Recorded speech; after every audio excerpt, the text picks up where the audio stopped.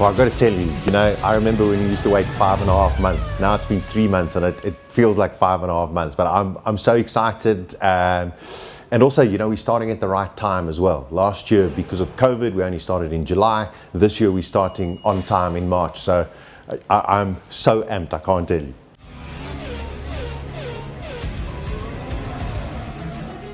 Okay, so we, we've got to first understand that don't forget 2021 was meant to be the year of the major change in Formula One. But because of COVID, it's now been pushed back to 2022.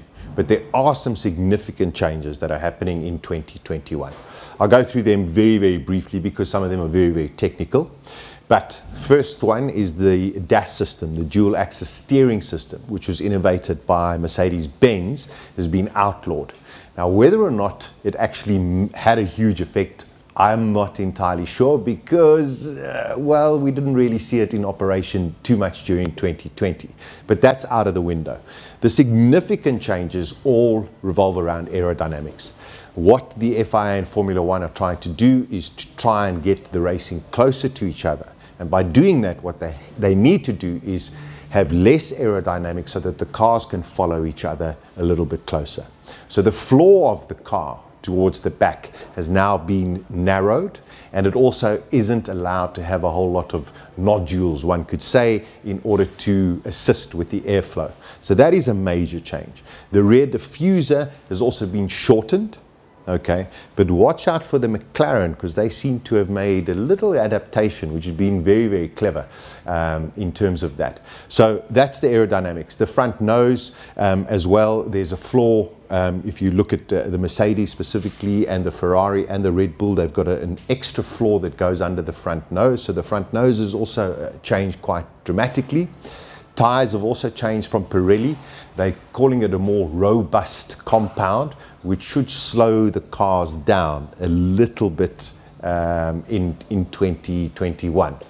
Just a little anecdote. Last year at the Silverstone Grand Prix, Pirelli recorded the fastest ever apex speed of a Formula One car. So it just shows you how fast these cars actually are.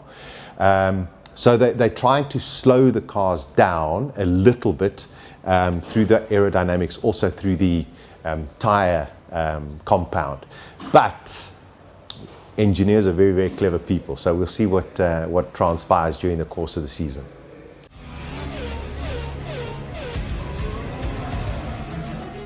Yeah, it's it's quite a confusing one. I mean, Pirelli, when they first came into the sport and they were told develop compounds or whatever, we had hard, medium, uh, soft tires, then we had super soft tires, then we had ultra soft tires, super hard tires. Um, so let's go through it. In wet weather conditions, there are two categories of tires. It's an intermediate tire and it is a full wet weather tire. That's it. When it comes to the dry compound tires. They now range from C1 to C5. Yet your commentator is still going to say he's on the soft, the medium, or the hard, because that's basically how we can remember it. If you want to know, C1 is the hardest compound. From there, C2 is slightly less hard. C3 is what you would call a medium tire, C4 is soft, and C5 would be the softest of the compound given by, by Pirelli all of the drivers and all of the teams will get exactly the same tires for every single race. And this has a lot to do with the way that COVID um, has, has changed the, the dynamics of uh, the running of, of Formula One. In the past, the drivers could allocate or select that they wanted three soft compound tires, eight mediums, and four hards. Now, all of the drivers will get exactly the same compound for every single Grand Prix.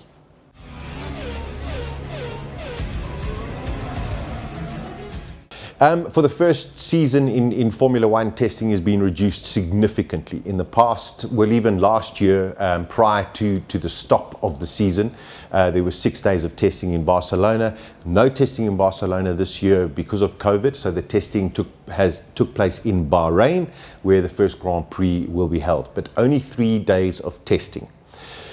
Is it enough? Um, quite difficult to, to give a, a, full answer on that, but we're into the seventh year of the hybrid technology. So you've got to believe that from a reliability point of view, that's more than enough time for the teams. Going into 2022, I would surmise that there will be extra extra days allocated, um, but that's that's still away, um, you know, a, a, year away. 2021 testing in Bahrain. What can we read into it? It is nearly impossible to analyze what the teams have done. We've seen teams doing. Uh, um, one would uh, assume heavy fuel loads, long runs, and we've looked at comparative times and say, ah, those are pretty close to each other. So we assume over long distance running, the cars are relatively close. But we don't know how much fuel each of those um, cars have got, how long those, uh, those tires have been running, what the temperature, I mean, what the pressure of those tires are. However, there are one or two things that I've picked up from, from testing. For example, as we all know, Ferrari had a very, very difficult year in 2020. And their major problem, of course, was uh, straight line speed. And, and that um, unfortunately affected them and, of course, their two customer teams, that being Haas and Alfa Romeo. Alfa Romeo have shown an incredible turn of speed in testing. However, what does it mean? We're not entirely sure.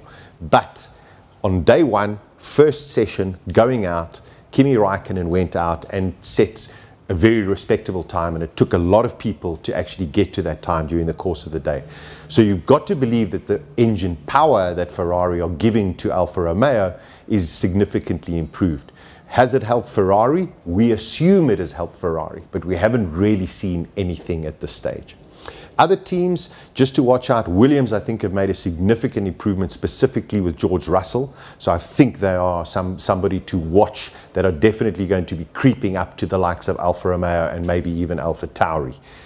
Um, and then the team I think to watch uh, out for quite closely is McLaren because McLaren are going from Renault power to Mercedes power, did a huge amount of running over the uh, test sessions and had uh, no reliability issues. So um, that I think stands very, very well for them. They're the only team that went in with a new engine fitting into their, their chassis. So I think things look pretty good for, for McLaren.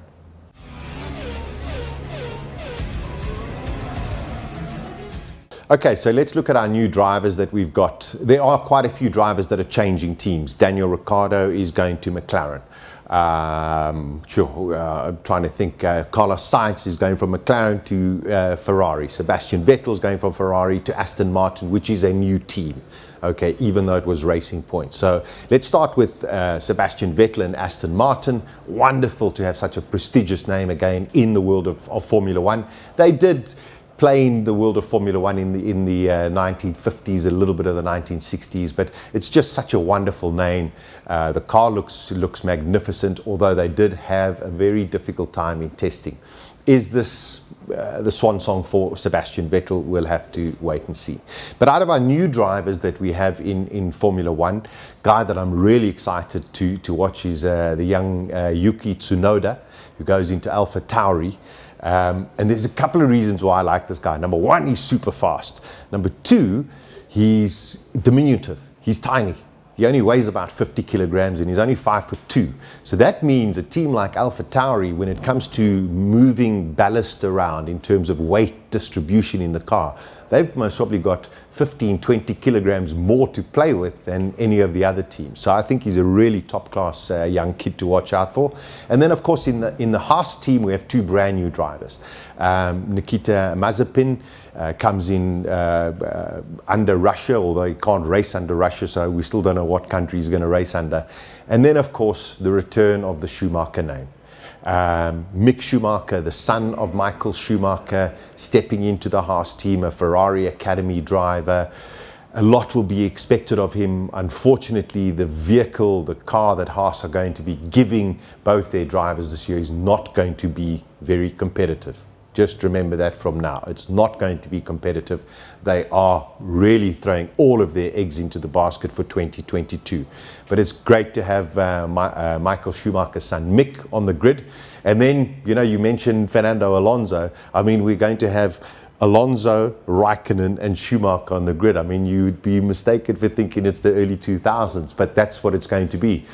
The return of Fernando Alonso to Alpine, which is the Renault team, now changed its name to Alpine, is significant. Um, hopefully, they give him a really, really strong car that he's able to be competitive with. We know his, uh, his capability, we know his pedigree, and we need to see the likes of um, Alonso, Max Verstappen, Lewis Hamilton, Charles Leclerc, Carlos Sainz, Daniel Ricciardo, Valtteri Bottas. Love to see those guys really, really fighting out um, at, at the front. We don't want another two horse race.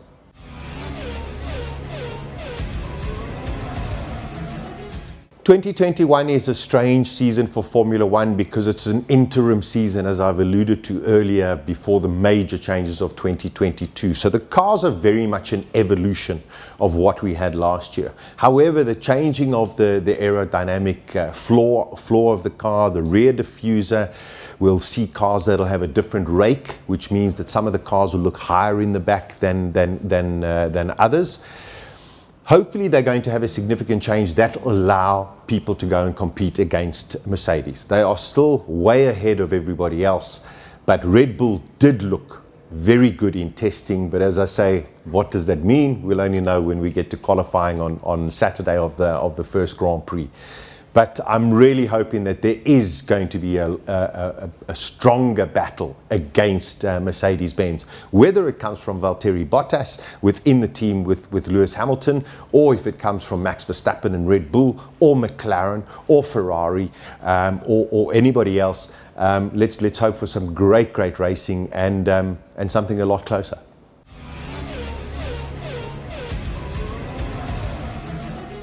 Mercedes, of course, are going to be right up there, so um, you've got to expect them to be uh, the dominant dominant force. But the sort of unknowns, it's Honda's last year in Formula One. They're going to give it the full beans with, with Red Bull Racing, and you've got to believe that in order for a team like Red Bull to hold on to Max Verstappen, they've got to give him something that he can challenge with. If they don't, they're going to lose him and he's maybe one of the most spectacular drivers we've seen in many, many years. The unknowns has to be Ferrari. We don't know. They finished sixth or seventh or fifth in, in the championship last year. I mean, all of a sudden we're saying, you know, uh, it's an unknown of, of Ferrari. Ferrari, we honestly don't know. They could have 40 horsepower more, they could have 50, they could have 60. We, we will only know once we start, start racing. And the one team, honestly, that I say look out for, you, you've got Red Bull, you've got Mercedes, Ferrari and unknown, is McLaren. McLaren, even with a new engine, and, and they might have a few gremlins that, that creep in um, with, with uh, the software and the hardware putting together. They have got a phenomenal team. They've got Ricciardo and Norris, who are very, very capable racing drivers. But they've got Zak Brown, they've got Andreas Seidl, they've got uh, Andreas Stella, and they've got James Key. And pardon the pun, but that could be the key to great success for McLaren.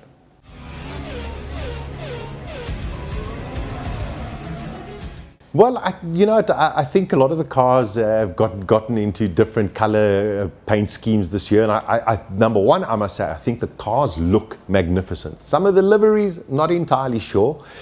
These cars are also so difficult to see just from pictures. And whether it's high resolution pictures in cameras um, or video footage, until you see them in the flesh, do you really appreciate what these cars actually actually look like?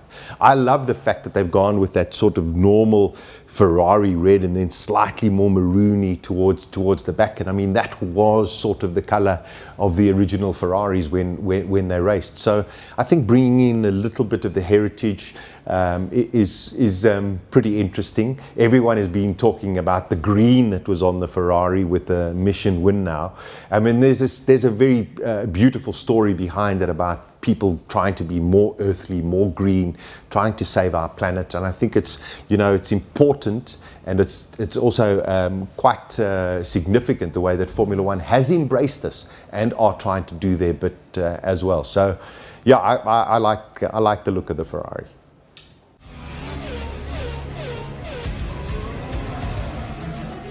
Yeah, uh, uh, you know, I, I say watch out for McLaren. I really think McLaren could be the dark horse, but Ferrari could be the dark horse. I mean, it's weird to say that, but Ferrari could be the dark horse, all depending on what we see when, when we go um, in, into qualifying.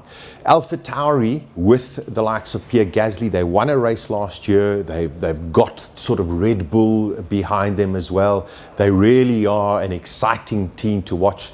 Yuki Tsunoda, I think, is, will be the rookie of, of, of the season. So um, I'm, I'm really, really excited for, for them. And George Russell, uh, for the first time, we saw when he stepped into the Mercedes last year how competent and what a brilliant racing driver he is. But I think Williams are definitely three or four levels ahead of where they were in 2019. And I expect George Russell to be fighting in the 10, 12th position uh, regularly. And I wouldn't be surprised to see George Russell accumulate some good points for Williams and it'll be the first time Williams will achieve points in quite a few seasons. So I say watch out for, for George.